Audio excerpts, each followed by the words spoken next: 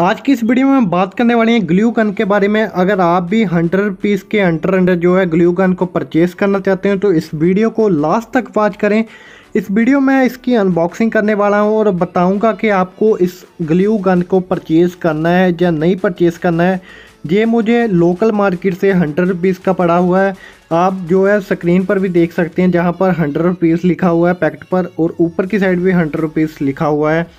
और इसके साथ मुझे दो स्टिक जो है फ्री ऑफ़ कॉस्ट जो है, मिली हुई है, जहाँ पर हम पैकिंग को ओपन करेंगे। सबसे पहले हमारे पास जो है, एक स्टैंड देखने को मिल जाता है। उसके बाद हमारे पास जो है ग्लू गन देखने को मिल जाती है। इसके अलावा कुछ भी पैकेजिंग में नहीं होता है।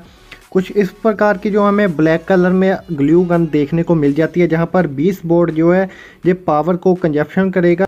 बाकी की साइड आपको जो है glue gun neat and clean मिलेगा, कुछ भी ज़्यादा जो इसमें देखने को नहीं मिलता। सबसे जो है लोएस्ट जो है ये ग्लू गन है, जो आपको हंड्रेड रुपीज़ के अंडर अंडर पड़ेगी। जहाँ पर हमारे पास जो है ऑलरेडी जो स्टिक जो है हमें फ्री ऑफ़ कॉस्ट मिली हुई है, जहाँ पर हम स्टिक को जो है इंस्टॉल करेंगे। इंस्टॉल करने के बाद जहाँ पर प्लग जो है हम इंसर्ट करेंगे, जहाँ पर लिखा हुआ है कि नोजल को हाथ बिल्कुल भी नहीं लगाना, जब आपने चार्जिंग पर लगाया हुआ है। मतलब कि इस साइड को आपको टच नहीं करना, ये बहुत ही ज़्यादा हीट हो जाता है। उसके बाद हमें देख लेते हैं कि आपको जो है इस परचेज़ करना चाहिए ग्लू गन को, कि नहीं परचेज़ करना चाहिए। आप देख सकते हैं कि बहुत अच्छे से जो है हमारी ग्लू गन जो है वर्क कर रही है। आप देख सकते हैं कि जहाँ पर मैंने थोड़ा सा क्लिक किया जहाँ पर जो है ग्ल्यू गन बाहर निकल के आ चुकी है।